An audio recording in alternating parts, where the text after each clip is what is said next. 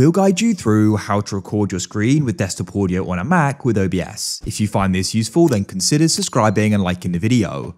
This is really convenient to do as you may go and have some audio from your computer you want to capture. If you haven't heard of OBS, it's actually a screen recording tool. You can get it from OBS Project. It's free and open source. So you can go and download it and install it. If you haven't used it before, you can go and press settings in the bottom right, go to the left and select output, set the output mode to simple.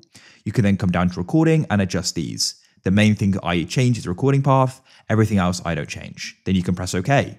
Now in scenes, you can go and create a new one, but you should have one. You want to come into sources, press the plus at the bottom and press Mac OS screen capture. You can then go and press OK. You can go and choose the display like so and then press OK.